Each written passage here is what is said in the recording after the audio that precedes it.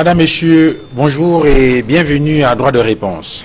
Droit de réponse, c'est le magazine dominical d'Equinox euh, Télévision qui fait un zoom sur les principaux sujets qui ont retenu l'attention de la presse au cours de la semaine qui s'achève. Et cette semaine, euh, la presse s'est beaucoup intéressée à l'affaire du prétendu financement des partis politiques de l'opposition camerounaise par l'ambassade des États-Unis.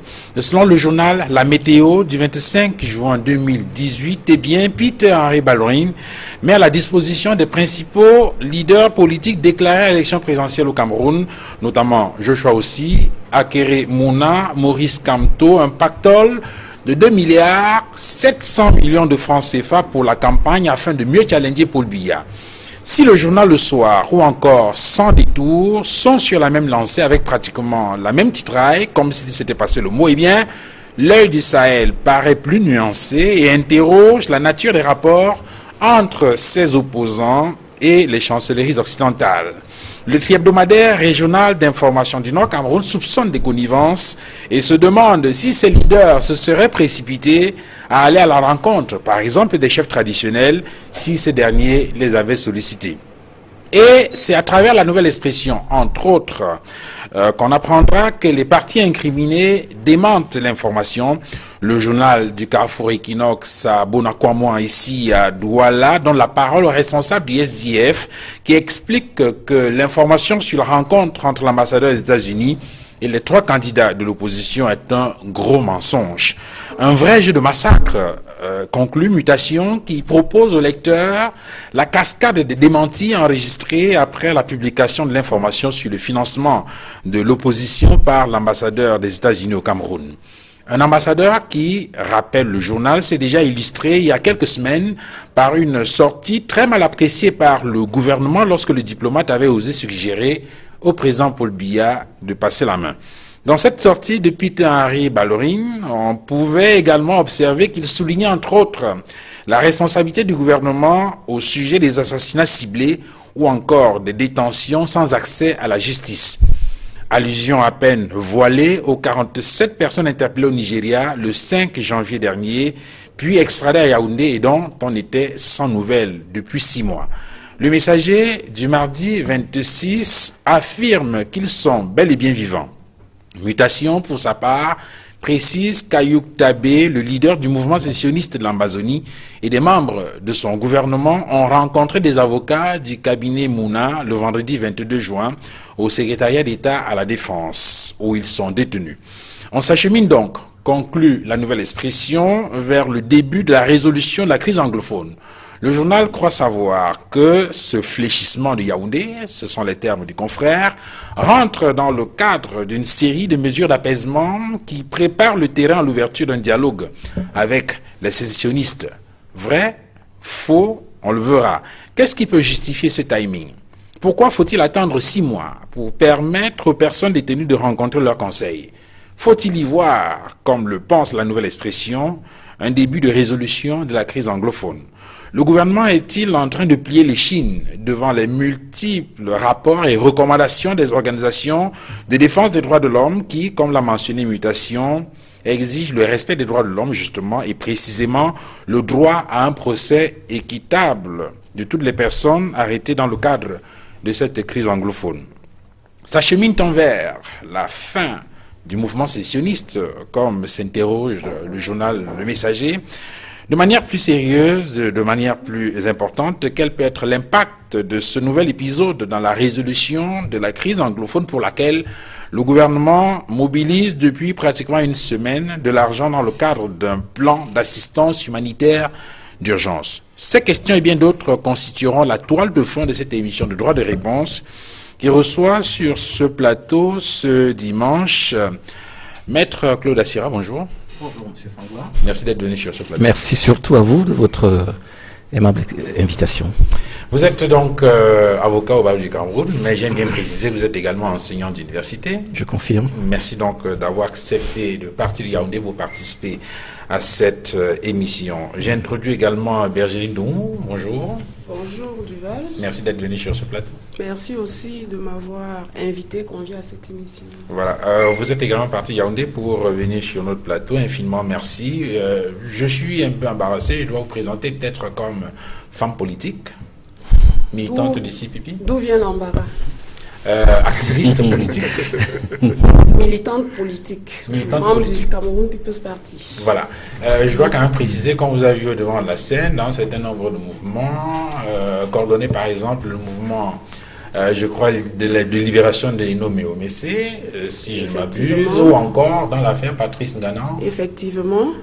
euh, vous faites bien de dire devant de la scène, et c'est une scène qu'on ne devrait pas occuper normalement par rapport à ces affaires, parce que au finish, quand on prend du recul aujourd'hui, on se pose toujours la question pourquoi ont-ils été arrêtés Pourquoi été- ont-ils extradés Pourquoi, pourquoi, pourquoi? En tout cas, Dans un état cas, de- vous avez entre griffes obtenu le gain de cause parce que ceux-là sont libres. Merci. Mais Virginie. encore, mais alors Merci Virginie d'être venue sur le plateau de droit des réponses. Euh, Maître Dulu Sachou, bonjour. Bonjour Duval, Merci d'être venu. Le plaisir est le mien, Voilà, vous êtes euh, avocat au barreau du Cameroun effectivement. et je ne peux pas éluder votre casquette d'homme politique. Non. Aussi membre de la. Voilà, Rassemblement démocratique du peuple camerounais, le parti au pouvoir, Oui, oui, ou le oui, parti proche au pouvoir, c'est comme vous voulez. Ok. Edmond Kangia, bonjour. Bonjour Duval, Merci d'être venu. c'est un plaisir. Alors, vous êtes journaliste et vous travaillez pour la Nouvelle Expression. Et il y a ce sujet que je voudrais vous proposer de décrypter très rapidement avant qu'on rentre dans le vif du sujet. C'est en rapport avec ce coup de fil euh, que le, cet entretien téléphonique entre Paul Biya, président de la République du Cameroun, et Emmanuel Macron, président de la République française, c'était hier, 30 juin. Un entretien téléphonique euh, qui, euh, au- je vais dire, dans lequel euh, un certain nombre de questions ont été évoquées. Je vais d'abord sur la forme, avant d'évoquer peut-être un ou deux éléments dans le contenu. Qu'est-ce que cela peut expliquer? Qu'est-ce que cela peut traduire? Quel est le sens qu'il faut donner à cet entretien? D'abord, je salue tous les copanélistes. Ensuite, je salue tous les téléspectateurs fidèles de cette émission. En ce qui concerne ta question, je dois dire que c'est quelque chose de normal entre chefs d'État de s'appeler par téléphone ou alors d'envoyer des émissaires. Mais il faut le dire, dans le contexte sociopolitique actuel et dans le contexte international actuel, cela a beaucoup de sens, cet entretien téléphonique entre Emmanuel Macron et Paul Biya. Pour plusieurs raisons. Sur la forme, tu l'as dit, restons sur la forme. C'est important parce que c'est pratiquement la veille du sommet de l'Union africaine qui se tient 31e sommet. le, le 31e sommet qui se tient ce dimanche à Nouakchott en Mauritanie. Et on sait que Emmanuel Macron devrait, à marge de ce sommet, rencontrer les chefs d'État du, qui ont des troupes dans, le, dans la force G5 Sahel. Et vous n'êtes pas sans savoir qu'il y a eu un événement grave, tragique, ces derniers jours, euh, concernant le QG de cette force qui a été, qui a été victime d'un attentat. Donc, il faut dire que le chef de l'État a donc eu cet entretien avec Emmanuel Macron. C'est une bonne chose parce qu'il est bon que les chefs d'État aient de temps en temps su des questions d'intérêt commun, des discussions, des échanges. Et euh, bien évidemment, on a évoqué un certain nombre de sujets qui ont fait partie justement de cet échange-là. Euh, la question justement de ce sommet de l'Union africaine, euh, la question avec notamment l'enjeu des migrations. Et ça, c'est un sujet qui préoccupe particulièrement le président français. La question donc de la sécurité, notamment dans le bassin du lac Tchad ou encore l'avenir de la francophonie. Effectivement, tous ces sujets sont, j'allais dire, prioritaires en ce moment, en ce, qui concerne l'Afrique d'une manière particulière, mais aussi le Cameroun pour ce qui concerne directement les questions concernant le bassin de lac Tchad et la lutte contre le terrorisme, parce que nous luttons depuis, officiellement, depuis 2014 contre Boko Haram, et on sait tout le soutien que la France nous accorde dans le cadre de cette guerre-là. Il y a également, dans le cadre, je le soulignais tantôt, sur la lutte contre le terrorisme, l'attentat dont a été victime le QG de la force conjointe G5 Sahel, dans l'entretien entre, selon les informations qui nous sont parvenues, dans l'entretien entre les deux chefs d'État, cette question a été un des points majeurs et les deux chefs d'État ont condamné cet attentat. Il faut, ça, il faut le dire. Pour, euh, pour dire qu'en réalité, cette, question va être également portée à l'ordre du jour des questions de conflit, de sécurité qui concernent l'Afrique au niveau du sommet de l'Union africaine. Mais il faut dire également, dans la lutte contre euh, les, les terroristes, la France et le Cameroun sont main dans la main. Depuis, on s'en souvient, le discours que le chef de l'État avait tenu à, à l'ONU, qui disait en réalité que lorsqu'il y a un problème global, il faut apporter une solution globale. Et la France est un des acteurs de cette solution globale à laquelle participent également les autres pays amis, membres de la communauté internationale. Il faut dire, tu l'as souligné, la question des migrants également, ça concerne le Cameroun aussi. On a vu le, des revenir euh, de l'épisode libyen. Et cette question qui sera à l'ordre du jour également des questions majeures, même s'il est vrai que la lutte contre la corruption est le thème central du sommet de l'Union africaine.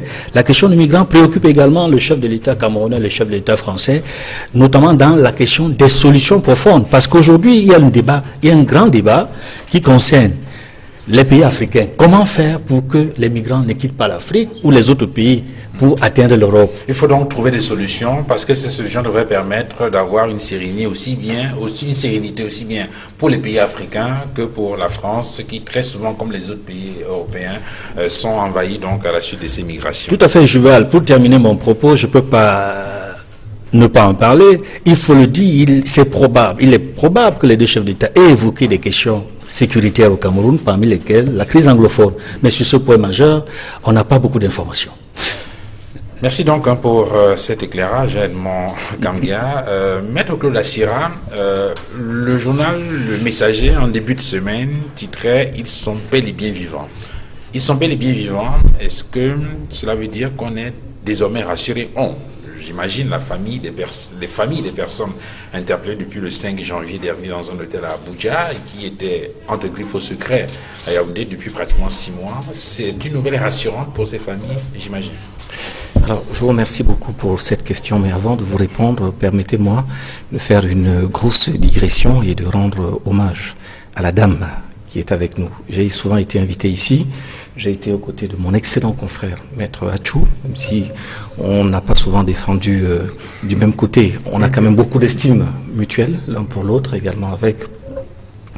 Mais c'est la première fois que j'ai la chance d'avoir euh, Madame Bergeline. Et je dois dire que, honnêtement, euh, vous avez eu du mal tout à l'heure, mais c'est d'abord, avant tout, je l'ai jugé, je trouve que c'est une humaniste. C'est une femme. Il y a très peu de femmes de conviction. On les voit beaucoup, on les voit très très peu.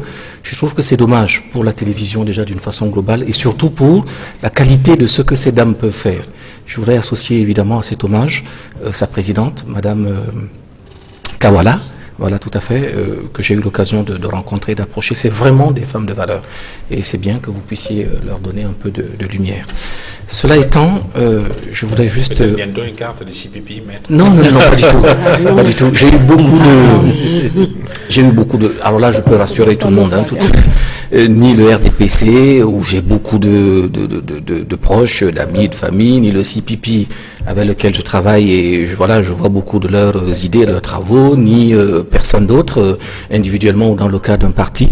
Moi, je considère, et je ne veux pas faire de critique à qui que ce soit, que l'avocat, c'est d'abord la, la liberté. La liberté dans son esprit, la liberté de penser. Je ne veux pas que mon opinion puisse être enfermé dans une discipline, même si le mot discipline peut avoir quelque chose de, de, de, de favorable ou positif, je considère que la, discipline pour un avocat a quelque chose de péjoratif.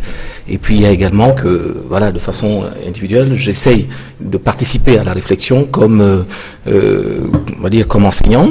Euh, je pense que quand vous avez une étiquette quelque part, quelle que soit la pertinence de l'opinion que vous allez émettre, on verra toujours d'abord, avant tout, votre appartenance partisane plutôt que la pertinence. Donc, pour ces raisons-là, j'ai fait le choix, après mûre réflexion, de n'adhérer à aucune des propositions qui m'ont été faites jusqu'à présent. Donc, bien que je les aime beaucoup, malheureusement, je n'aurai jamais une carte de ce, de ce parti-là. Neva, c'est Neva.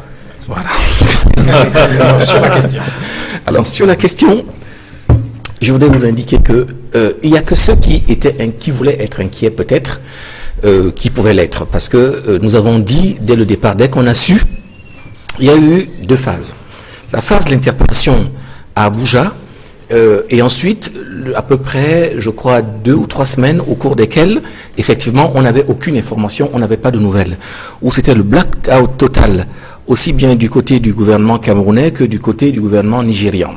Et puis, il y a eu cette annonce qui a été faite le 27 euh, janvier par euh, ce communiqué au cours d'une conférence de presse par le, le euh, Monsieur Issa Jiroma Bakari, euh, qui nous a donc donné la possibilité à nous tous de savoir que, je pense en interprétant, sans les avoir vus physiquement, que je ne vois pas, quelles que soient les dérives, quelles que soient les suspicions qu'on peut avoir, je ne vois pas un membre du gouvernement prenant la parole pour vous dire que les gens sont à la disposition de la justice sans pouvoir s'assurer de ce que on va pouvoir éventuellement le prendre au mot un jour, le juger à ses paroles. Donc je pensais déjà que à partir de cette annonce-là, il y avait de bonnes raisons qu'il y soit. Et puis j'ai également envie de vous dire qu'à titre personnel, individuel, même si j'ai été beaucoup critiqué, fustigé par un certain nombre de mes confrères qui, je pense, ont couru après le l'ombre plutôt que derrière la proie, c'est que nous nous sommes rendus personnellement au CED, où ils étaient, euh, ils avaient été conservés le 27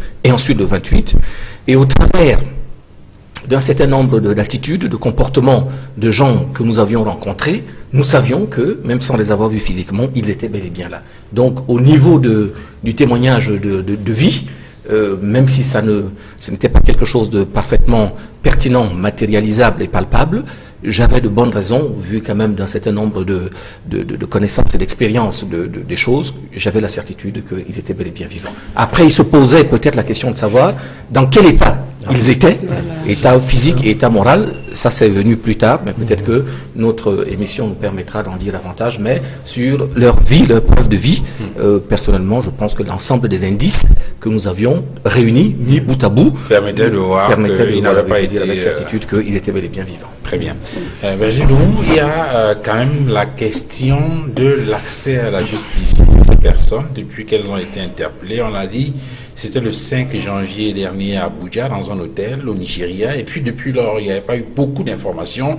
C'est vrai que Maître tout à l'heure, Maître Assira indiquait tout à l'heure qu'il y avait euh, il y a eu une sortie du gouvernement à travers son porte-parole pour donner quelques assurances. Et puis il y a eu des avocats qui ont échangé de façon disons, informels, avec, euh, euh, peut-être pas échangés, mais qui avaient des, des, garanties de ceux qui étaient bel et bien vivants, reste quand même qu'il y a ce problème d'accès à la justice. Six mois après, est-ce que c'est pas trop long, de votre point de vue?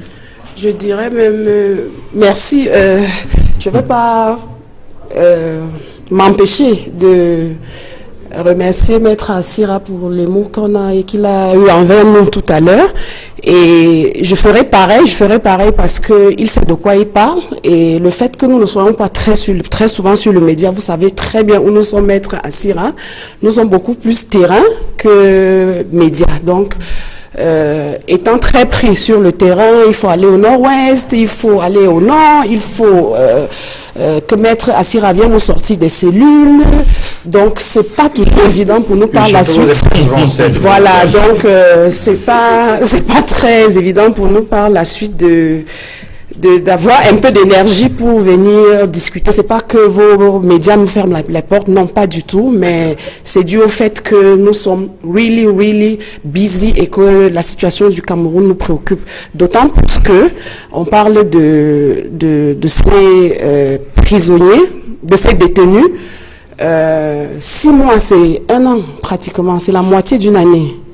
Et c'est après six mois qu'on vient nous donner des bribes d'informations. Ils seraient en vie, les avocats les auraient rencontrés. Parce que moi, je suis encore sur les, les, les, euh, parce que Maître Assira ici, ils étaient les premiers.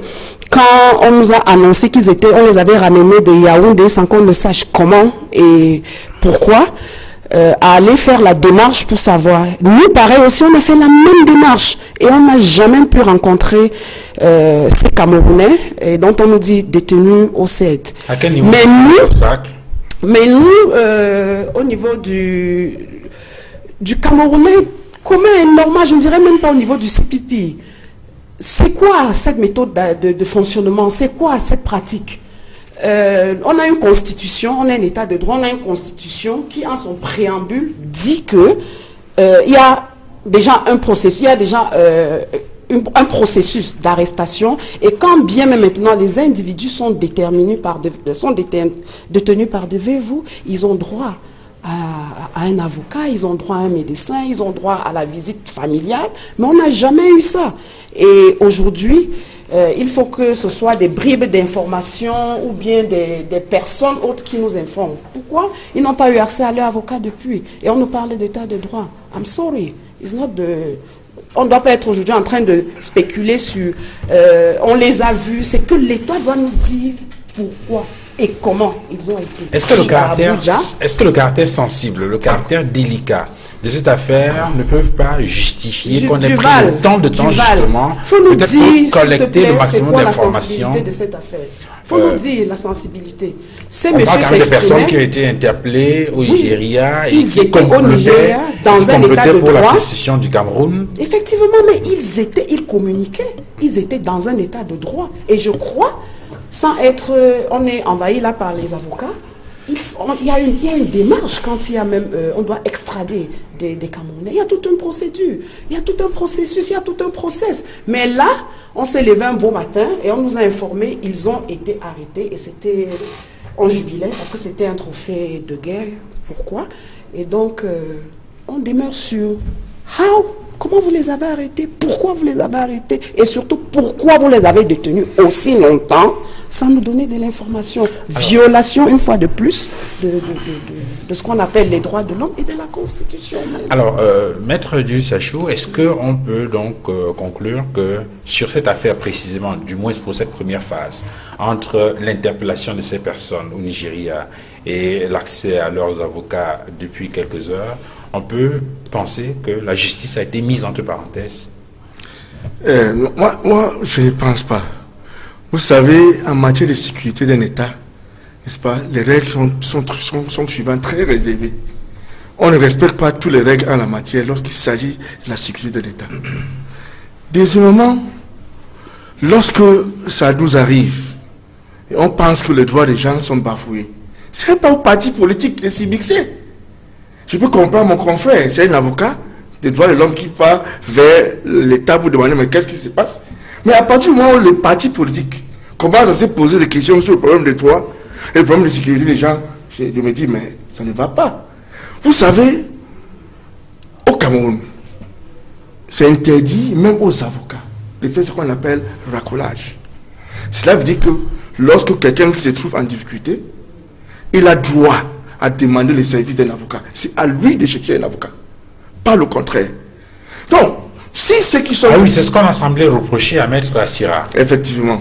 Bon, c'est un avocat, je dis c'est un avocat, il est libre, n'est-ce pas, de, de faire comme il veut. Mais chez nous, dans notre, dans notre déontologie, c'est interdit. On ne part pas vers le client, c'est le client qui part vers l'avocat. Quand cela ne tienne, il s'est posé un problème. Qu'est-ce qu'il vous faut maintenant? C'est pour chercher, n'est-ce pas, la solution. On nous dit, on nous dit, on nous dit, que voilà ce qui s'est passé. Ils étaient dans un hôtel, on les a arrêtés, on les a arrêtés. Qui a lu le dossier? Qui a lu le dossier pour savoir qu'est-ce qui s'est passé? C'est d'abord, avec ça qu'on doit d'abord. Comme pour dire que tant que- qu'il n'y a pas une enquête préliminaire avec euh, un certain nombre d'instructions qui sont portées à la connaissance public, il est difficile de savoir exactement ce ce qui s'est passé. C'est de la spéculation maintenant que nous, tout ce que Voilà. nous parlons, c'est de la spéculation. Mais c'est jusqu'au moment où les gens vont entrer dans le dossier pour savoir ce qui s'est passé, à ce moment, n'est-ce pas, les choses seront claires. Bah, Mais il y a, il y a- il y a quand même des faits constants, hein, maître euh, Dieu Sachou. C'est que, un, ils étaient au Nigeria, on les a arrêtés. Dans quelles conditions, ça, on dit qu'on ne sait pas. Et l'autre, constant, c'est que depuis six mois, on n'a pas de nouvelles d'eux. Oui, euh, non, vous n'avez pas de nouvelles. C'est pas tout le monde qui n'a pas de nouvelles. Ah, Jusqu'à présent, certains des membres de leur famille ne se plaignent pas. Bon, vous, certains membres de leur famille, Oh parce que goodness. la famille est grande. Certaines personnes ne se plaignent pas. Par exemple, je sais qu'il y a un confrère aussi qui est parmi ceux, ceux-là. Jusqu'à présent, je n'ai pas entendu parler. Le bateau dit que bon, j'ai mon confrère qui est en détention, n'est-ce pas, je n'ai pas accès à lui. C'est au patrouiller de l'OTI. Bon, quand le bateau ne le dit pas, qui est l'officier qui peut dire, euh, entre nous les avocats, qui est en dé- parce qu'il y a un avocat parmi Et l'épouse qui s'était en train de Vous n'avoir pas savez- de nouvelles de son mari, c'était pas sa famille? Eh, S'il vous plaît, madame, lorsque vous parlez, je n'intervenais pas. Vous avez l'occasion de parler, je parle ce que je pense. Vous avez pas mal de partis politiques, vous voulez aller vous mixer dans une histoire des droits de l'homme. Ok, allez-y. Quand vous allez vous buter avec un problème, vous vous trouvez en cellule, vous demandez à mettre un cellule, venir vous sortir, c'est pas mauvais. C'est la bonne, c'est une bonne guerre. Mais il faut noter que, il faut, ici au Cameroun, tout le monde se permet de faire, n'est-ce pas? Tout, tout le monde pense qu'il est avocat, tout le monde pense qu'il est policier, tout le monde pense qu'il est président, tout le monde est politicien. Il faut laisser, n'est-ce pas, les professionnels font leur travail. Alors donc pour vous, il faut attendre effectivement l'ouverture. Il il faut le faire. Pour avoir des informations et savoir La lutte des droits de l'homme Oui. est, une- est une lutte à perpétuité. Ça ne peut pas s'arrêter à un seul jour. C'est- On va faire, on va lutter pour l'homme, les droits de l'homme jusqu'à la fin de nos vies. Donc il ne faut pas qu'on soit précipité dans les, dans les actions.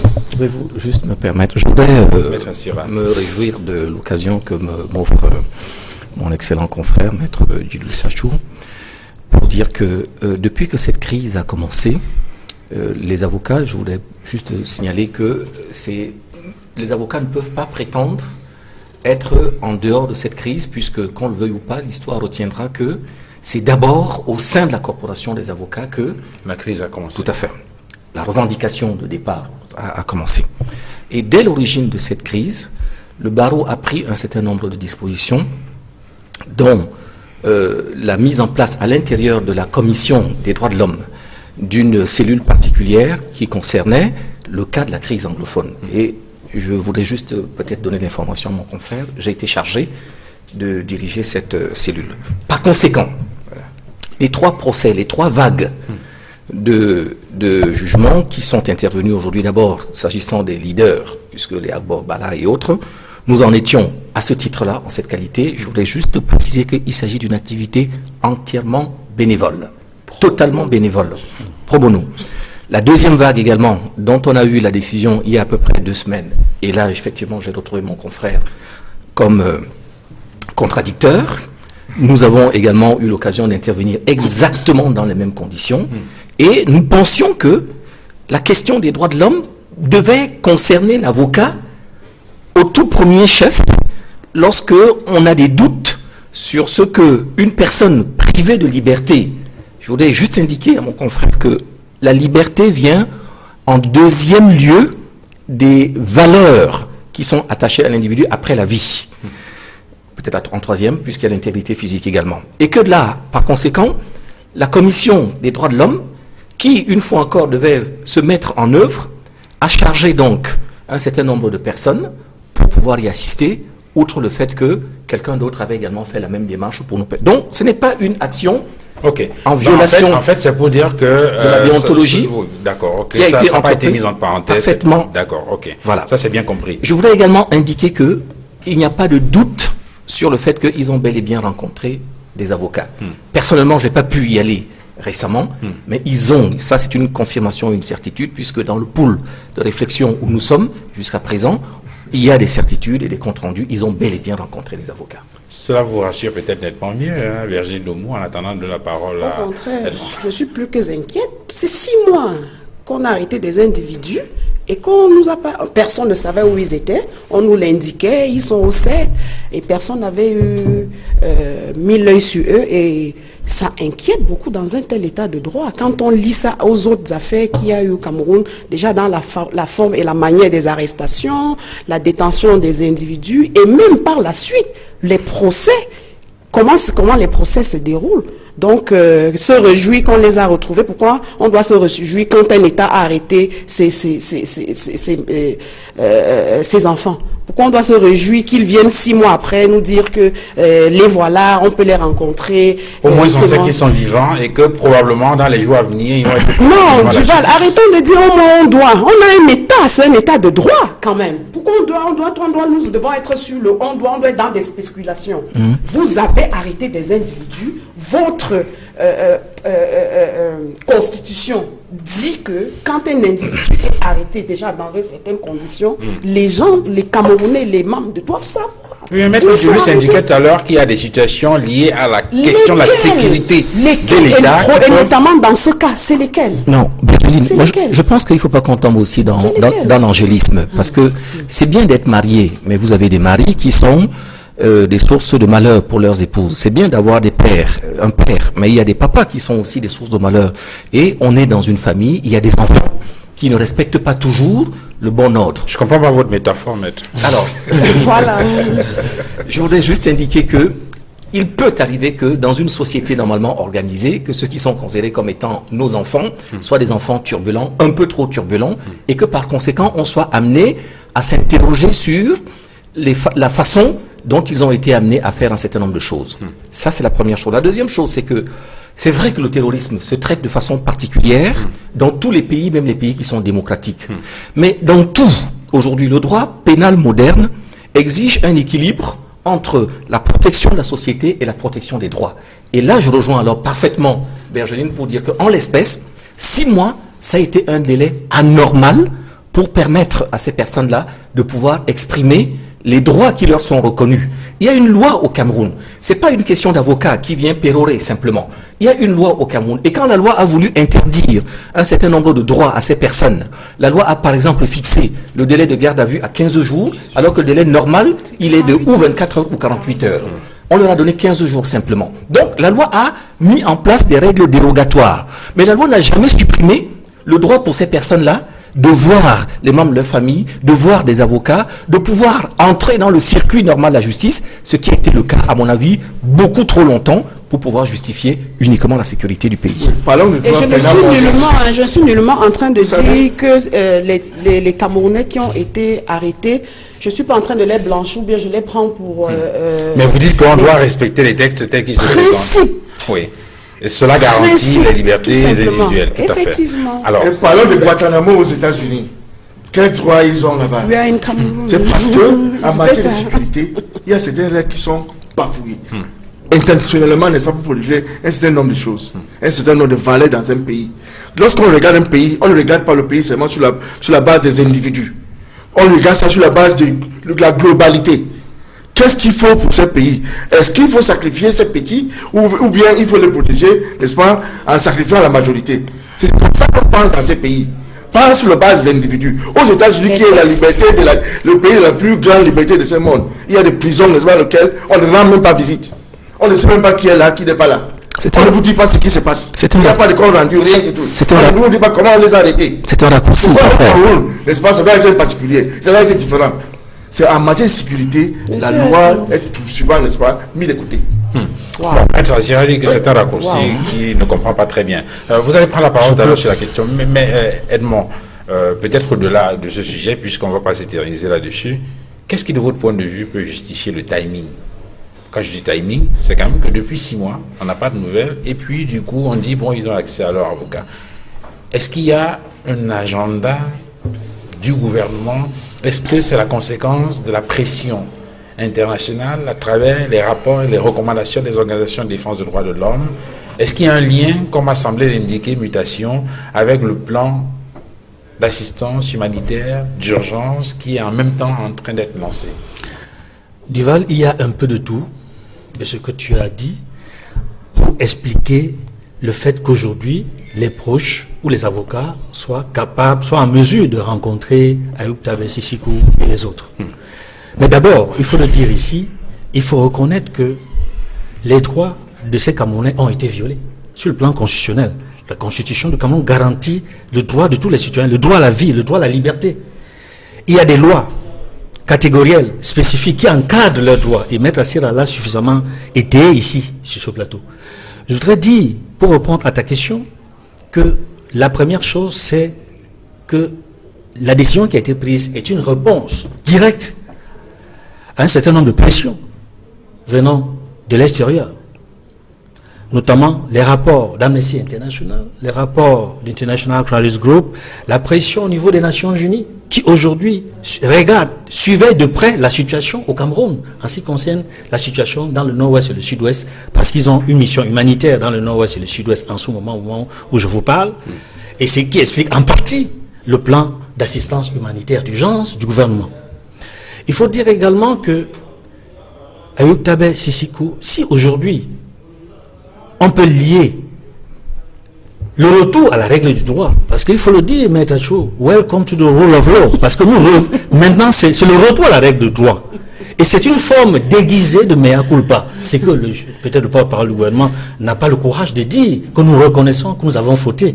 Mais intellectuellement, il faut apprécier cela comme une forme de mea culpa du gouvernement qui reconnaît enfin que la situation qui a prévalu de janvier à ce jour n'est pas la meilleure qui soit en matière de respect des droits de l'homme. Mais vous avez des confrères qui ont expliqué dans, la, dans le sillage du développement de cette actualité euh, qu'on ne peut pas se lever un matin et puis ouvrir un dossier comme ça sans avoir collecté le maximum d'informations qui permettent d'enclencher l'instruction judiciaire et donc de déboucher sur un procès réel, équitable, dans le strict respect du droit de la défense et tout ce que euh, la Déclaration universelle des droits de l'homme et d'autres textes indiquent.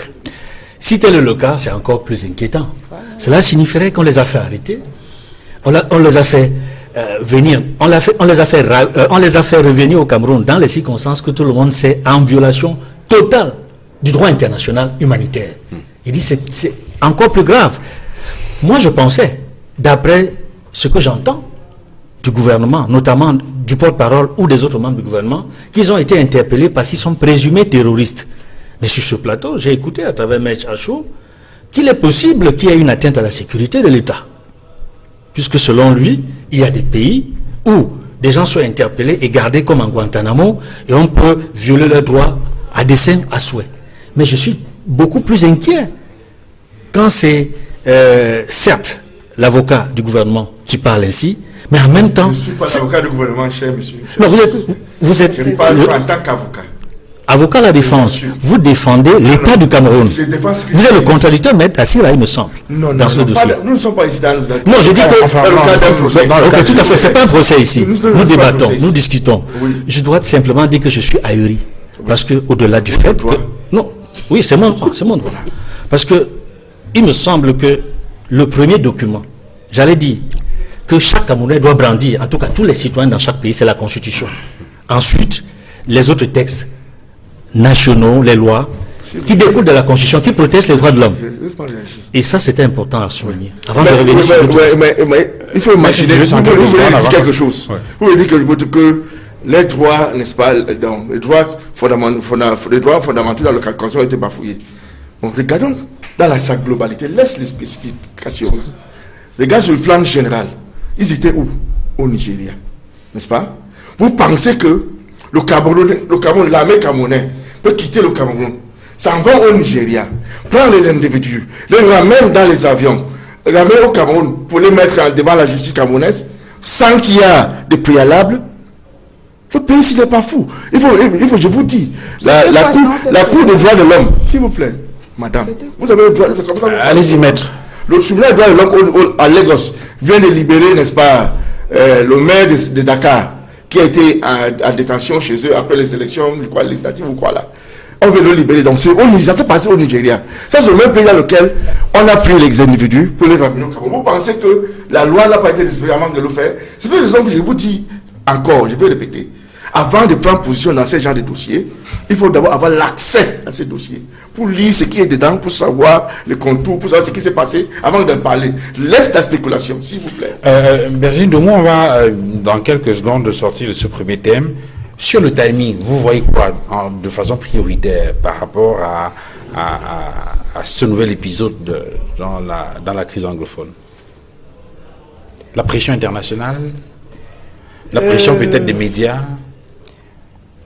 Ce gouvernement, je crois, ça fait plus de 30 ans qu'il nous gouverne. Et je crois qu'ils sont proprement dans leurs agendas. Qu'il y ait pression ou pas, ils étaient très conscients des pressions, ils étaient très conscients, mais ils sont dans leur logique qui est de... euh, euh, qu'est-ce que je vais dire sans être violente, qui, qui est de mener à bien leur dossier selon leurs envies, selon leurs dispositions, pour justement euh, continuer à, à, à- à- à garder le pouvoir, je vais dire ça comme ça.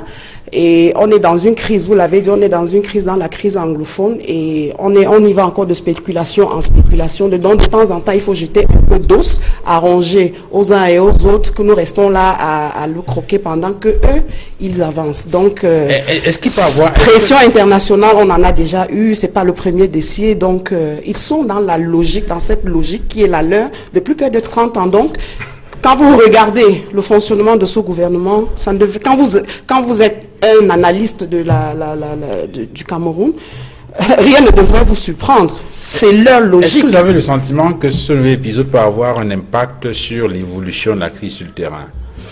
Non, euh, il ne faut pas parler de sentiments, il faut parler de ce qui est visible. Il y a une question Est-ce que, le quotidien Le Messager a posée cette semaine en développant cette actualité. Euh, Est-ce la fin du mouvement sécessionniste? Euh, est-ce la fin des arrestations? Est-ce la fin des détentions euh, des détenus de la crise anglophone? Parce qu'on parle des, des Ayouk et autres, mais il y a combien qui sont détenus? Au-delà de ceux qui sont détenus, la première vague, comme a dit Maître Assira, Akbobala, euh, euh, Mancho BBC et autres, quelle, est quelle a été la suite pour les Mancho et autres? Ils sont condamnés. Et toujours par rapport à cette, euh, cette crise. Pourquoi on avait libéré une première vague? On a euh, continué, on a gardé jusqu'à condamner les autres. Pourquoi on continue d'arrêter? Parce que ça, c'est ce qu'il faut dire. Si aujourd'hui, on nous met les, le cas des Ayuk sur la table, les arrestations sur le terrain, c'est grave. C'est grave, je le dis, parce que nous sommes sur le terrain, c'est pas... Il suffit de, de, de, de rire d'une certaine façon et vous êtes arrêté. Vous, Donc, vous avez l'air euh, pessimiste, mais quel de je ne suis pas pessimiste, euh, Duval, pas du tout. Je ne suis pas pessimiste. C'est la réalité du terrain, mon cher frère. C'est la réalité. Vous êtes dans un contexte, vous, on, nous tous, nous voyons, nous avons un gouvernement qui a eu les possibilités à chaque tellement de de- d'opportunités de, résoudre, d'arrêter, de au moins calmer cette crise qu'ils n'ont jamais saisie. Et aujourd'hui, ils reviennent avec. On a ce que vous pensez être des, des possibilités. On a, euh, vous pouvez avoir accès aujourd'hui au Sissoukou, euh, plan d'humanitaire, d'urgence, etc. Pendant que les armes tournent, pendant que les arrestations continuent, pendant que les déplacés euh, euh, internes se, se multiplient, pendant qu'on continue à affluer vers le Nigeria et d'autres dorment en brousse. Donc c'est dans ce contexte-là que vous commencez à analyser face à un gouvernement qui continue à dire euh, voter son budget pour que la guerre continue, continuer à renforcer euh, l'armée au nord-ouest et au sud-ouest, continuer à arrêter. C'est avec cela que vous pensez que Alors, cette euh, crise... dans- de votre point de vue, euh, je veux dire, quelle allure ce procès pourrait prendre de manière à ce que cela puisse impacter positivement sur la résolution Il n'y a rien à efficiente de cette de ce procès. Ils vont faire comme ils ont d'habitude fait. Ils vont nous mettre, ils vont nous convoquer. On sera, on va nous tous encore, on va courir au tribunal militaire. Ils vont fonctionner exactement comme ils le font. Nous sommes au tribunal militaire tous les jours. Des procès. Bon, je ne vais pas parler même du cas, je vais encore parler même de, de- de- de- de- de- du fonctionnement, de déroulé de ces procès. Mais peut-être Maître Assiraël là, je vois Maître Tapi qui... C'est le film, c'est du cinéma, et un mauvais cinéma, très mal écrit, très mauvais scénario, où même les avocats parfois se rendent à l'évidence, mais on est en train de nous mener en bateau en pleine audience. Donc, euh, penser que c'est euh, un moyen ou bien une, attitude de l'État pour pouvoir, de ce gouvernement pour pouvoir résoudre cette crise, non, c'est pas ça du tout. Déjà que c'est elle le problème de la crise. Donc, elle ne saura être la solution et la solution ne saura venir d'elle.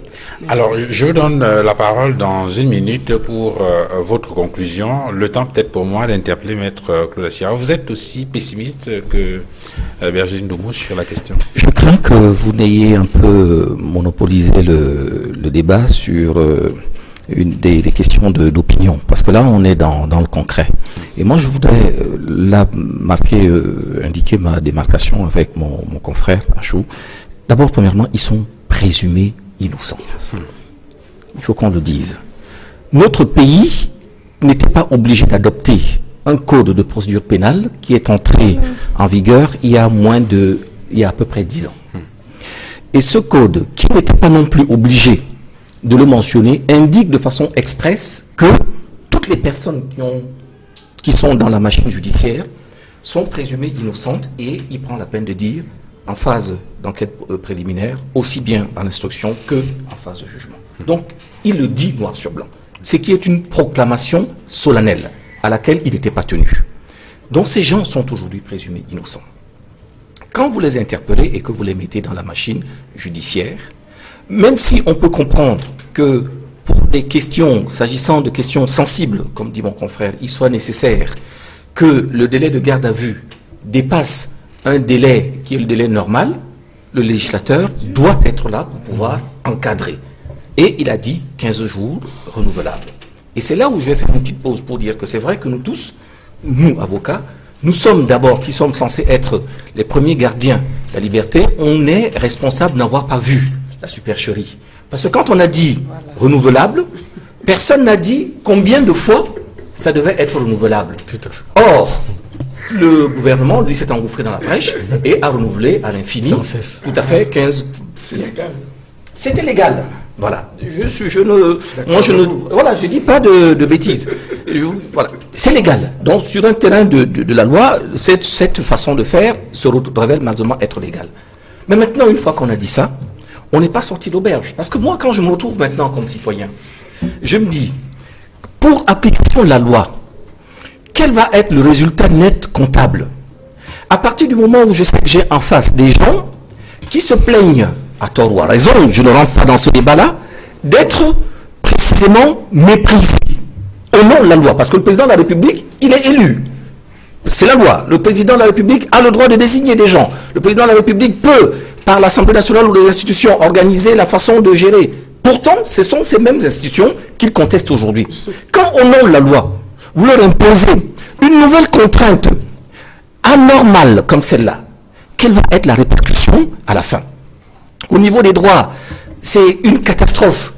Moi, j'ai envie de, et je prends tout le monde à témoin, mon confrère aussi ici, quand pendant six mois, une personne n'a pas pu entrer en contact avec l'extérieur, lorsque vous allez finir par l'amener devant la juridiction pour être jugé, quelle est la crédibilité que vous allez pouvoir accorder aux aveux, aux affirmations qu'il va faire, même s'il il, fait des aveux? Quel est le crédit? Donc, les droits de l'homme, c'est nul. Politique, c'est nul. Au niveau même de la justice en recherche, c'est nul. Donc, je, je ne comprends pas, honnêtement, quel a été l'objectif recherché pour pouvoir mettre ces gens au secret pendant si longtemps, alors qu'il était possible, même en prolongeant le délai de garde à vue, bah, de leur permettre d'avoir les droits élémentaires que le législateur ne leur a pas retirés dans le cadre d'une loi qui se veut être une loi extrêmement sévère. Hmm. Alors, Domou, on va euh, vous permettre de dire un mot et puis euh, pour qu'on sorte de ce sujet? Euh, bon, on va, on va en demeure, hein, comme on Vous avez indiqué tout à l'heure que pour ce qui concerne l'impact que cela pourrait avoir sur la crise, vous n'êtes pas euh, optimiste? Oui, pas du tout. Et je vais, je serai, je suis obligé de dire ce que j'ai redit tantôt, c'est-à-dire que tout ça, c'est de, que ce soit euh, la, la, les, qu'on nous serve de Ayouk aujourd'hui qui ont rencontré les avocats et Maître Assira, je vais encore revenir là, Maître Assira n'a pas rencontré ces ces détenus. Je qu'ils les ont rencontrés. Je, suis je parle de Maître Assira. Voilà. Qui n'a pas rencontré. Je, je parle de Maître Assira. Voilà. Qui n'a pas rencontré. Mais d'autres confrères. Oui, je parle de Maître Assira qui n'a pas rencontré ces, euh, ces détenus et je suis inquiète parce que pourquoi il ne les a pas rencontrés euh, qu'est-ce qui s'est passé? That's the question. Je vais discuter avec lui par la suite. Et je continue à dire que euh, quand on nous donne de l'os à ronger, comme ça, là, à chaque fois que ça devient un peu tendu, c'est le fonctionnement de ce régime. Et c'est pas ça qui va mettre fin à la crise anglophone. La crise anglophone, nous connaissons sa source. Nous connaissons ses racines. Ça, plus personne ne peut euh, démentir au Cameroun qu'il y a ce problème et qu'il faille s'asseoir pour en discuter et trouver une solution. Sauf que ceux qui devraient s'asseoir, euh, qui se mettent en avant comme euh, porteurs de solutions de cette crise sont ceux qui ont créé le problème et ne sauraient être la solution. Donc, ils sont out totalement. Virginie Demou, infiniment merci d'être venu sur ce plateau et d'avoir participé donc euh, à cet échange. On espère euh, vous avoir très prochainement sur d'autres thématiques. Infiniment merci. Je rappelle que vous êtes militante du CPP, c'est le Cameroun's People Party. Euh, Maître Julius Sachou, euh, peut-être pour sortir rapidement ce sujet et embrayer sur la deuxième thématique, est-ce que quel pourrait être l'impact de ce procès ou du moins Comment voyez-vous le déroulement de ce procès? Quel est le schéma qu'il devrait prendre pour que cela puisse impacter de façon positive sur la résolution positive de ce conflit? Euh, Vous savez, moi j'ai toujours été libre, n'est-ce pas, dans ma tête et je parle ce que je pense. si, vous, si vous remarquez, il y a cela presque quatre ans, j'ai toujours dit, les choses, euh, cette crise va arriver parce qu'on a senti qu'il y a, que les Anglo sont un peu marginalisés et lorsqu'on ne règle pas ces problèmes, ça va, ça va s'en venir avec le temps. C'est déjà arrivé. Moi, je, suis moi je, vous rappelle que je suis parmi ceux qui ont toujours parlé de ça dès le départ. À mon avis, tous ces nous tous, tous les Camerounais connaissent ce que veut dire problème anglophone. Personne ne peut ignorer. J'ai toujours dit que le problème de ces pays, c'est les fonctionnaires les fonctionnaires gèrent mal un certain nombre de choses de ces pays. Et c'est ça qui, qui nous fait mal. C'est ça qui nous fait mal. Et, je et pour régler ce problème, le simple fait que certains parmi les anglophones ont pris les armes, Je ne suis pas d'accord avec eux parce que ce n'était pas ça la solution. La solution était, n'est-ce pas, de continuer à parler de ça et voir dans quelle mesure ceux qui sont aux affaires est-ce que, régler. Est-ce que la manière d'organiser ce procès pourrait impacter, je veux dire, pourrait avoir une influence sur la résolution de la crise Vous savez, en matière... Je pose la question parce que... Je suis avocat. En matière judiciaire, n'est-ce pas, je ne peux jamais spéculer. Hmm. Parce que on ne peut jamais savoir ce que ça va donner en fin de compte. Parce que c'est la justice.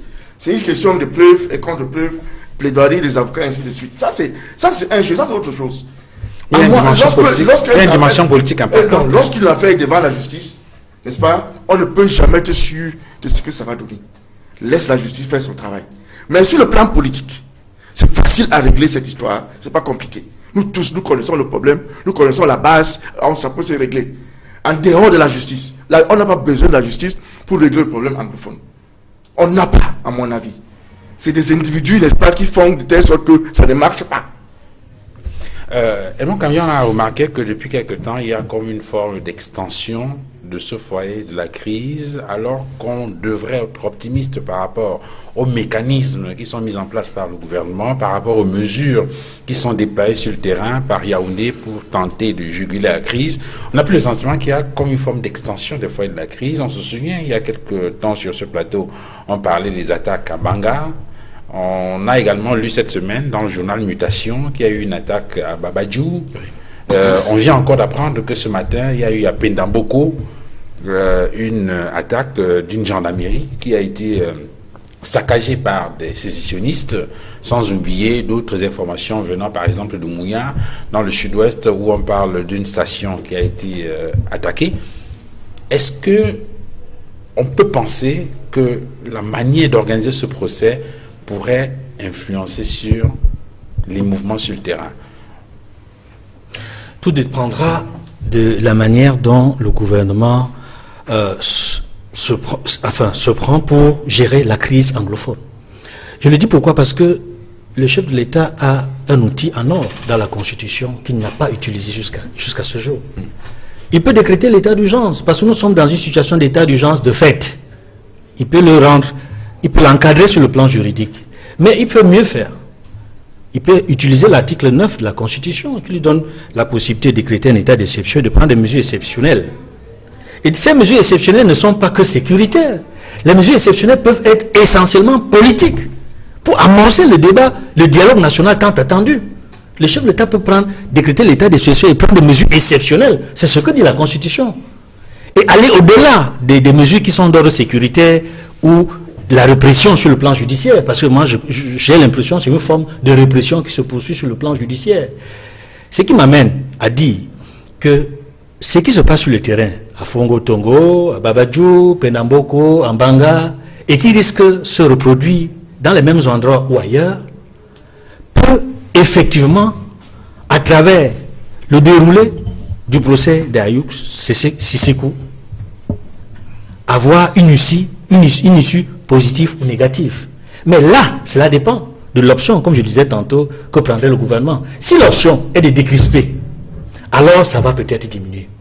Mais si l'option n'est pas de décrisper et de faire essentiellement du sécuritaire, je crains fort que la situation aille d'escalade en escalade. Mais Maître Assira, est-ce que la justice pourrait être un levier de règlement de cette crise J'espère bien. La justice a toujours été dans tous les pays du monde un levier. Et c'est pour ça que moi, je, j'ai du mal à comprendre euh, le, peu de cas, le, mépris que les autorités ont, de la justice de, ce pays, qui est pratiquement instrumentalisé et à qui on fait faire euh, ce qu'on veut pour régler des questions d'opportunité euh, politique ou autres. Et je pense que là, c'est vraiment le président a une expression un jour en parlant de gens qui avaient euh, des comportements dont ils ne mesuraient pas très bien la portée en les appelant apprentis sorciers. Je pense qu'au gouvernement, on a beaucoup d'apprentis sorciers, malheureusement. Et cette justice, moi, je pense qu'elle est à double tranchant. C'est à la fois elle qui vient soigner les plaies, mais c'est aussi elle qui peut souvent être la cause de beaucoup de déflagrations. Parce que quand, dans tous les pays du monde, je n'ai pas la prétention les avoir tous faits. Mais il m'est arrivé déjà d'avoir exercé un peu ailleurs ou de, de, lire, de me tenir simplement informé. Et vous pouvez vous en percevoir d'une chose, c'est que quelle que soit la couleur de la peau, quel que soit le niveau social ou intellectuel, l'homme, l'être humain, a chevillé au fond de lui un désir brûlant, ardent de justice. Et quand il a le sentiment que il ne peut pas avoir de l'institution judiciaire le, le retour à son bon droit, on peut arriver, ça peut conduire à un certain nombre d'excès. Et malheureusement, on a pu le voir au travers de cette crise. C'est ce qui s'est passé. À titre personnel, moi je pense, si vous voulez mon avis, bien que je sois avocat, moi je pense qu'il faut un procès. Hmm. Quel que soit le cas, il faut un procès. On a besoin d'un procès. On a besoin, il y a le temps de la justice et il y a après le temps politique. Que ceux qui ont commis une infraction puissent être normalement jugés, et je le redirai toujours, hmm. qu'ils puissent euh, recevoir le, de, la justice le coup de semonce qui est nécessaire, mais que après, après coup, que s'inscrivant dans le champ politique, le politique qui, de mon point de vue, est aussi un peu à l'origine de cette situation, parce que je suis convaincu de ce que si on avait accordé euh, des droits, si on avait écouté, je ne vais pas reciter l'ensemble des, des, revendications qui ont été faites au départ, mais si on avait juste été un tout petit peu à l'écoute, hmm. juste à l'écoute, on a un gouvernement d'autistes, de gens qui fonctionnent entre eux. Moi, je prends toujours l'exemple assez particulier de ce que on a un SMIC qui est dans ce pays à 36 000 francs. Pourtant, quand vous allez à Yaoundé, quand vous voyez le nombre de grosses voitures neuves qui circulent, euh, je ne veux pas vous parler du scandale euh, que nous avons tous vu le 20 mai, d'un véhicule flambant neuf, euh, voilà. Toutes ces, choses-là, les gens, ils les voient. Et ils finissent par les prendre comme étant une atteinte personnelle. Et forcément, euh, on se rend compte que ceux qui sont au pouvoir n'ont pas le, envie de travailler pour vous, mais ils profitent du pouvoir pour se servir eux et leurs proches. Ça veut dire que pour vous, donc, le schéma, c'est un, d'abord un procès équitable dans le strict respect des droits. Parfaitement, vous avez tout dit. Ensuite, tout à fait. vous avez le politique qui intervient. Et s'il y avait éventuellement des condamnations, si la justice, hmm. après avoir effectivement fait son travail, mis en balance les éléments d'accusation et les éléments qui peuvent permettre de défendre, je doute fort hein, qu'elle soit toujours équitable. Ceux qui veulent se tromper en faisant croire que dans le politique intervient, alors et derrière le politique si la justice venait effectivement après un procès équitable, j'aime bien votre mot, je le reprends volontiers, après un procès équitable, a effectivement reconnu la culpabilité et a condamné conformément à la loi, alors à ce moment-là, le travail du politique peut éventuellement se mettre en œuvre pour permettre de pacifier les choses et retrouver la paix sociale dont on a tous besoin. Euh, on accueille sur ce plateau Maître Lavoisier Sapi. Bonjour, Maître. Bonjour et bonjour à aux copanélistes, bonjour à tous les téléspectateurs de Equinox Télévision et particulièrement du programme Droit de réponse. Voilà, vous êtes avocat au barreau du Cameroun et vous êtes également en politique, vous êtes militant du Social Democratic Front, euh, parti, euh, principal parti politique de l'opposition. Avant de vous interroger sur le deuxième sujet, d'abord sur cette question-ci, est-ce que vous avez le sentiment que le précédent qu'on a obtenu dans les cas Borbala et Apolabine et les autres, est-ce que cela peut inspirer est-ce que cela est de nature à inspirer le gouvernement aujourd'hui dans la résolution de cette crise-là? Est-ce que vous avez le sentiment que le gouvernement ou le président Biya a tiré profit de, euh, cette, de ces mesures-là dans la résolution de la crise? Parce qu'on a eu le sentiment à un moment donné que la libération de ces personnes qui étaient considérées comme certains leaders, comme des leaders dans ce mouvement-là, pouvait apaiser un temps soit peu les tensions. Est-ce que vous avez le sentiment aujourd'hui vous n'avez pas le sentiment aujourd'hui que le gouvernement regrette un tout petit peu d'avoir pris ces mesures qui n'aient pas finalement influencé considérablement la, la, solution à la crise anglophone Ben oui, parce que euh, je crois que euh, le gouvernement a fait une très mauvaise gestion judiciaire euh, de cette crise anglophone. Il vous souvient que au début, c'est des personnes qui avaient participé à des simples manifestations illégales, qui n'avaient rien brûlé, rien détruit, qui ne portait aucune arme, qui avait été arrêté. Et par la suite, lorsque euh, le chef de l'État a ordonné la libération de certaines personnes, des voix se sont élevées pour demander à ce que tous les détenus soient libérés. Parce qu'à l'époque, il y avait plus de 150 personnes qui avaient été arrêtées dans le sud-ouest et le nord-ouest, qui, euh, qui avaient été transportées à Yaoundé, qui étaient détenues pour certains au 7, pour d'autres à la prison de Konengi. Alors de voix s'était élevée pour dire si vous voulez que cette crise s'apaise et que euh, on puisse amorcer le dialogue, il faut libérer tout le monde. D'autant plus que euh, j'ai participé à la défense de certains modérés devant le tribunal militaire de Yaoundé. Euh, j'ai des jeunes gens qui avaient été arrêtés simplement parce qu'ils portaient un tricot avec l'ancien drapeau du Cameroun, deux étoiles, et qui étaient poursuivis pour terrorisme. Donc le fait de porter un, tricot avec l'ancien drapeau du Cameroun qui avait deux étoiles, pour eux, pour le, pour le, pour le pouvoir, c'était un acte de terrorisme. Et d'ailleurs, euh, ces jeunes gens ont écopé de 10 ans de prison ferme parce qu'on leur reproche les faits d'apologie au terrorisme. Donc je pense que euh, le gouvernement a fait une très mauvaise gestion de la crise et n'a pas su prendre à temps des mesures judiciaires. Pas donc une mauvaise expérience qui peut-être pourrait ne pas inspirer le gouvernement dans le cas euh, dans les cas qu'on a en ce moment, dans les cas Ayoub Tabé et les autres qui sont là en attente de jugement, euh, on aurait bien peur que la main de la justice soit lourde à ce sujet.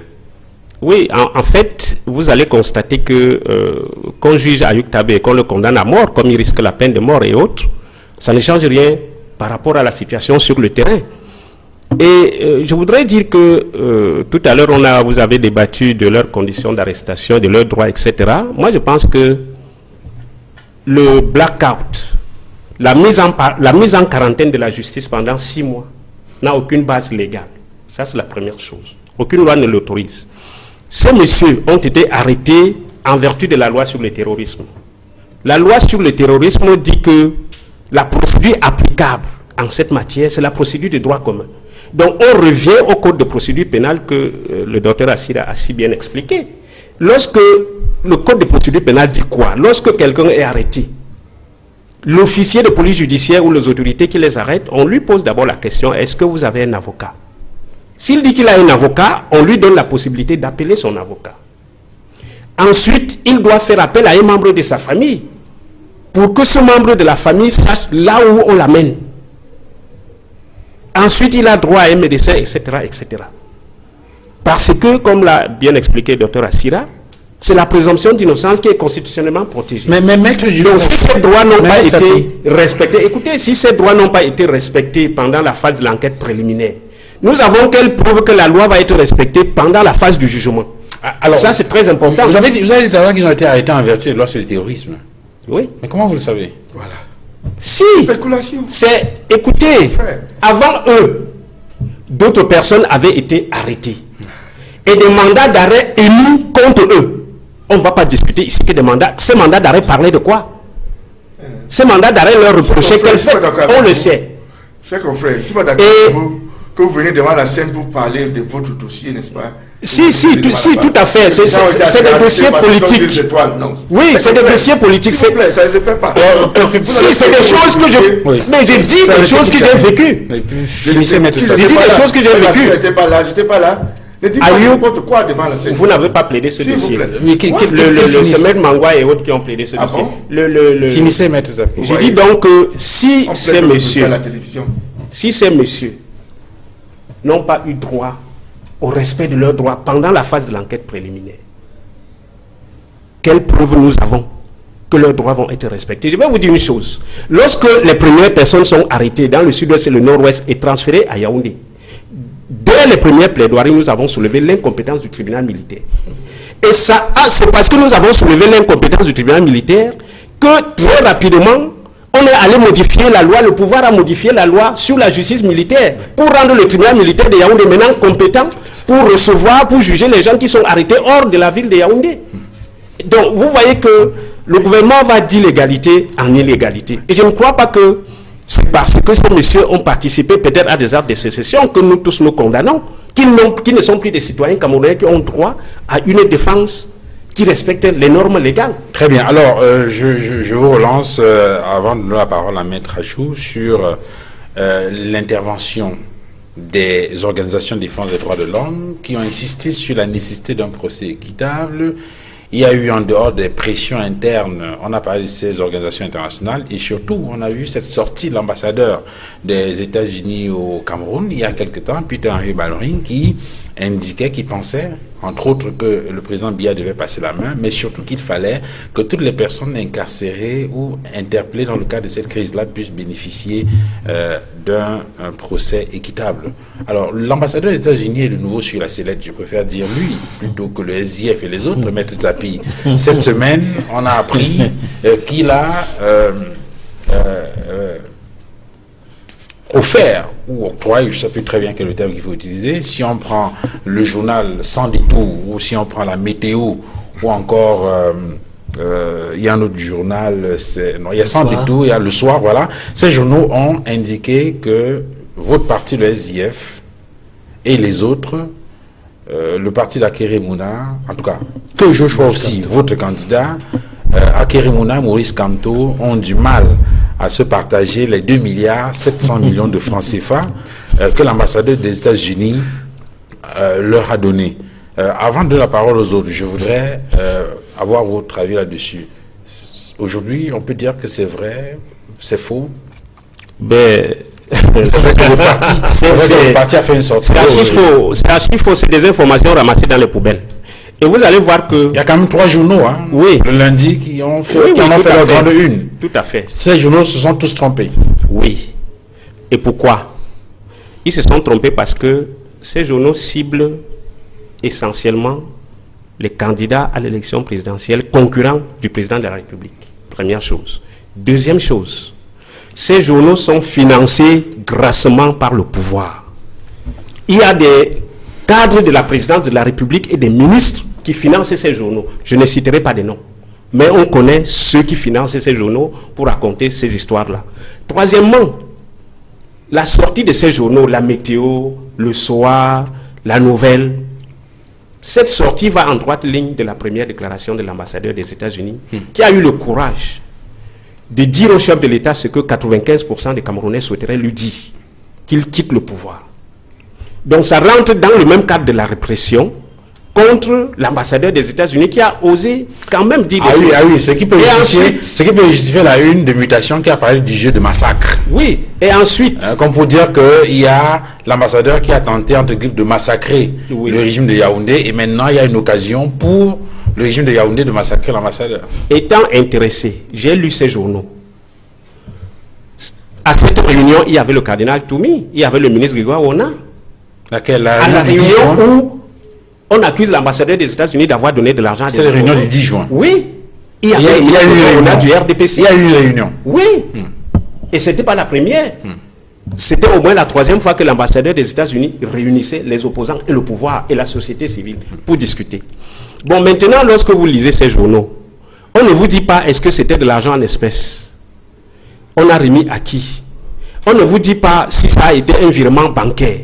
Vous savez, dans notre pays, la loi sur les partis politiques interdit formellement aux partis politiques existants au Cameroun de recevoir un financement de l'extérieur. Et si vous le faites, en même temps que le code électoral, si vous le faites, c'est une cause de disqualification de votre candidat. Je comprends que le SDF ayant investi Joshua aussi, le RDPC panique. C'est le désarroi total dans le camp du RDPC, qui estime que Joshua aussi met en péril la prochaine victoire du président Paul Biya. Depuis 1992, le SIF investit des candidats à l'élection présidentielle. Nous n'avons jamais eu recours à un financement extérieur pour financer la campagne de notre candidat. Pourquoi est-ce que c'est en 2018 Et puis vous voulez me faire croire, les journaux veulent nous faire croire que Joshua aussi lui-même est si pauvre qui ne peut pas financer sa propre campagne. je aussi, n'a pas encore déclaré, c'est bien. Donc, euh, je pense que ça a été tout simplement une manœuvre de diabolisation Très bien. des pouvoirs des, candidats de l'opposition par des gens qui ont intérêt à maintenir Paul Biya au pouvoir pour continuer à piller le Cameroun, comme ils le font actuellement. Euh, Maître Dussachou, est-ce que vous vous sentez euh, concerné par ces accusations de griffe du SIF qui pense que c'est le RDPC qui serait en train de manigancer dans l'ombre pour euh, discréditer ses principaux partis politiques de l'opposition. Euh, ce que dit la SDF, nous sommes en politique, n'est-ce pas? C'est un mensonge, n'est-ce pas, réaliste, sont acceptés. Euh, cette base se trouve ici au Cameroun, non? Oui. Cela veut dire que si vous donnez le malheur, n'est-ce pas, n'est-ce pas, dans le CFA, ici au Cameroun, est-ce que vous avez l'extérieur? Bon, ça, regardez même ça. Moi, moi ce n'est même pas le plus important. Parce que si on veut financer les partis politiques, il y a plusieurs façons de le faire. Pourquoi on en a peur? La politique, c'est l'argent. Si vous avez l'argent, vous ne pouvez pas le faire. Un point et trait. Et vous savez, je sais que en, matière de sécurité dans un pays, c'est l'État qui est chargé. Tant que l'État est là, l'État va s'occuper de la sécurité. N'en déplaise. Et l'État va faire ça de sa façon, même si vous ne voulez pas. Si, si cette, ces rumeurs sont des systèmes de sécurité dans ce pays et ça tombe dans les journaux, on a publié. Mais pourquoi les gens, on a, on a peur de l'argent? On, on a peur de quoi?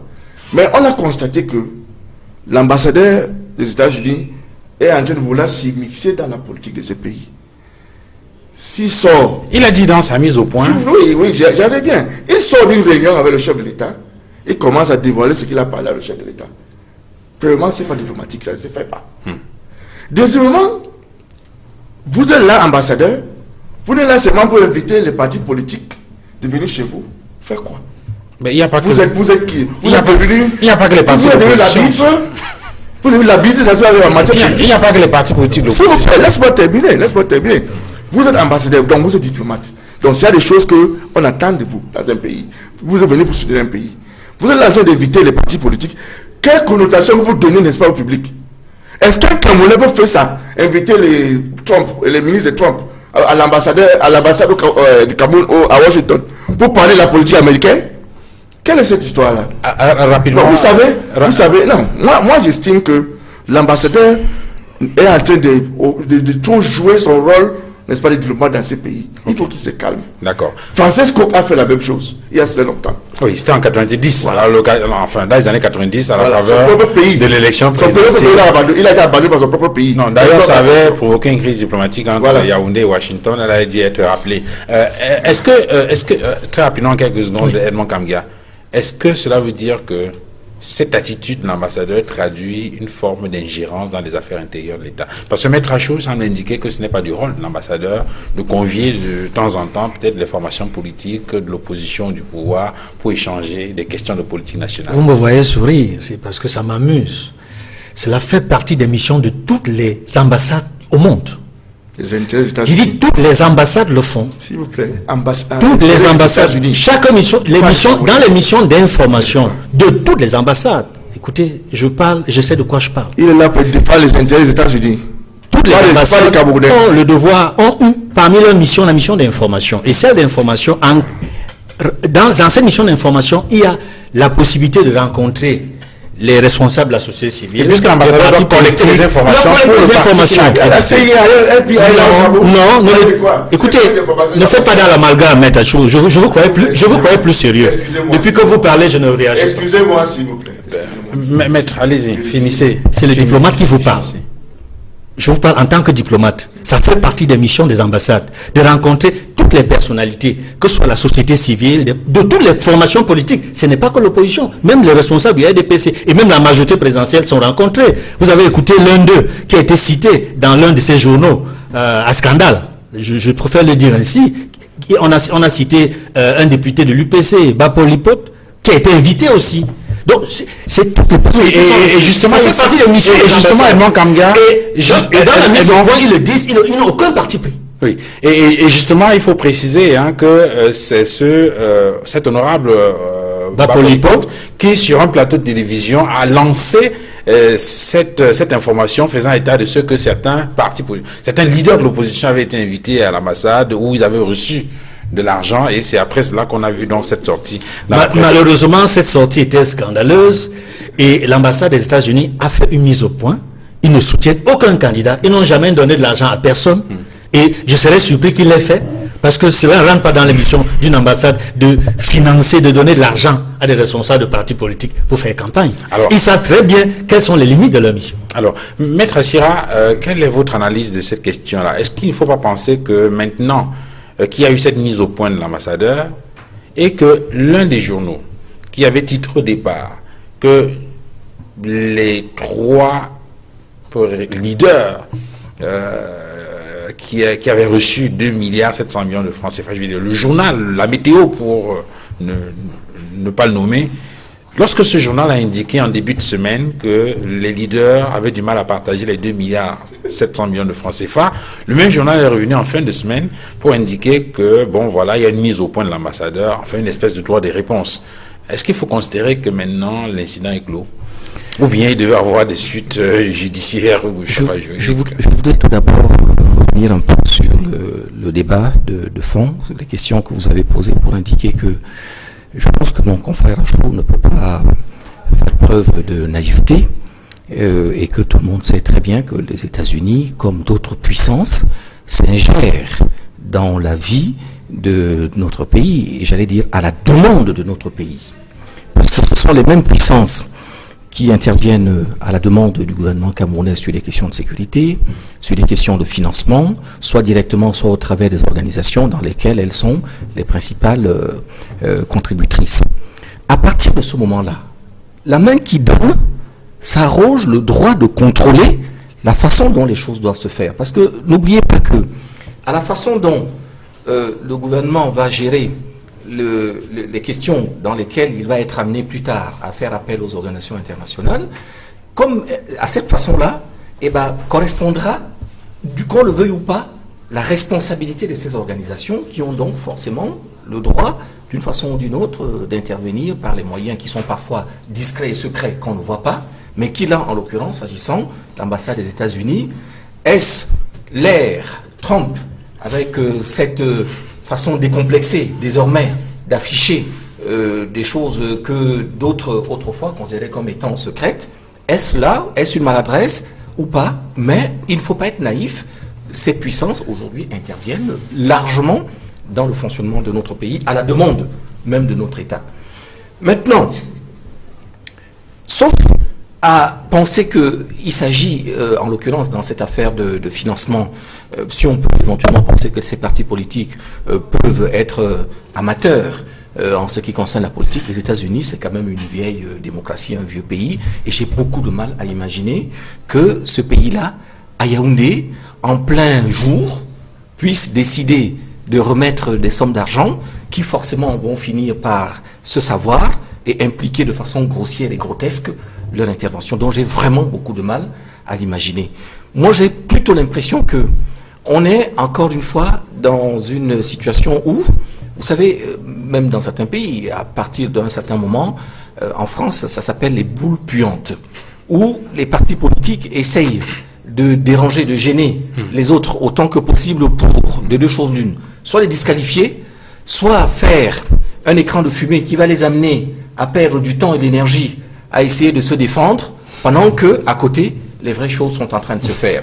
Mais je veux terminer sur un autre point, sur deux autres petites choses, mais très rapides.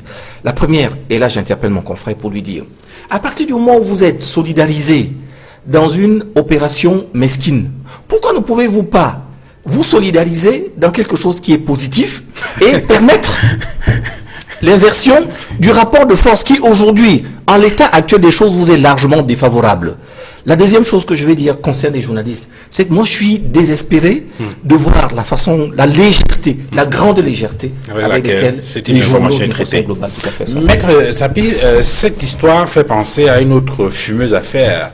Euh, de 13 ou de 12 milliards, et moi comme gars, c'était combien encore en rapport avec euh, le cabinet Brent Trust qui 14 milliards 14 milliards voilà que le professeur Maurice Camteau avait gagné dans l'élaboration du code pénal entre autres Maître la question que je veux poser, est-ce que vous entendez euh, saisir la justice ou attaquer ces journaux-là, ou bien vous dites, bon, ça vaut pas la peine, on va les laisser mourir de événement? Perdez pas votre temps dedans. Non, non, on ne va pas attaquer la presse parce que ça ne sert à rien.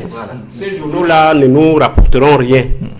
Mais je voudrais euh, être en désaccord avec mon distingué confrère, Maître Achou, sur l'intervention des puissances étrangères euh, dans nos États africains qui sont généralement dirigés par des dictatures.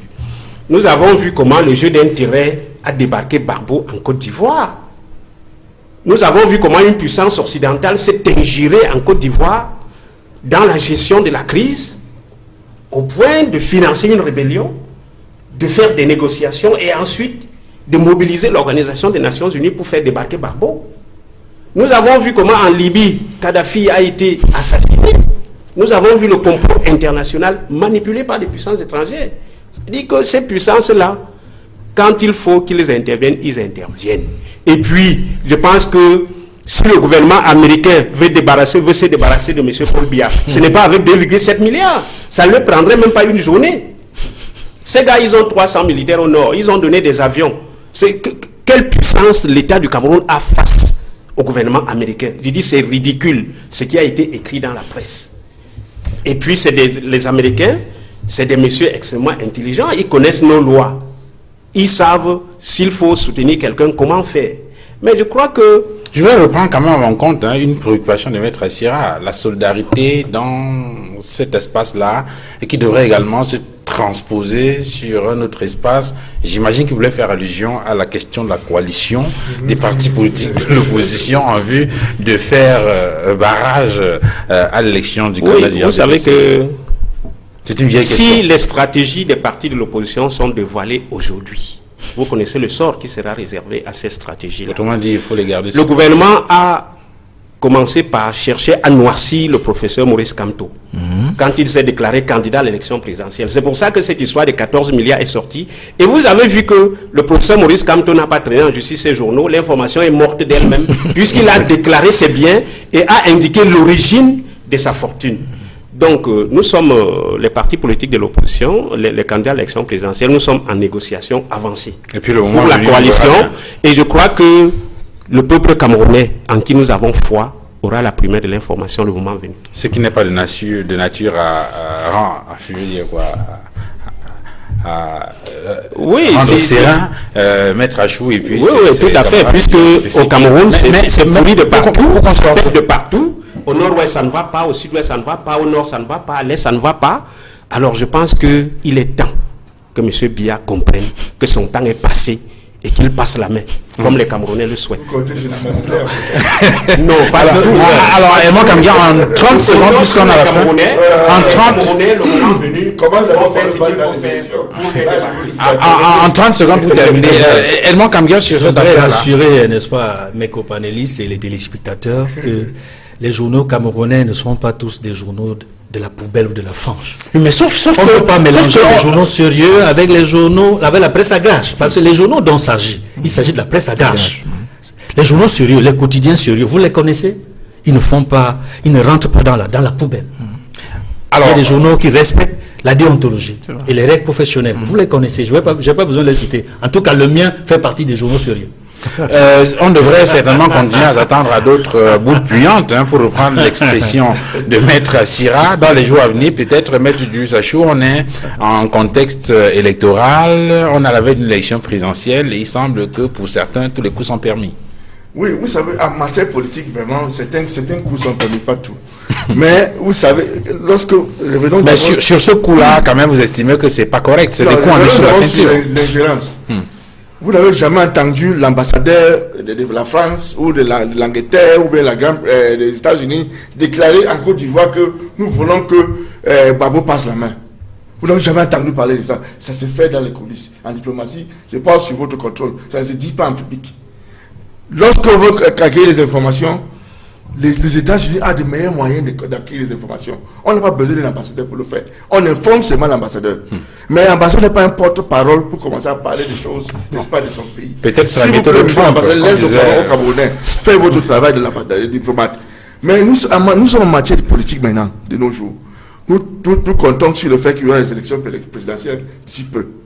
Bon, le RDPC va mettre, va, pour le moment, on n'a pas encore dévoilé notre secret.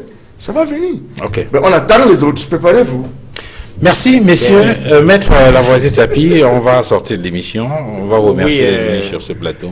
Avant de dire mon mot de fin, je voudrais, avec votre permission, exprimer un vœu.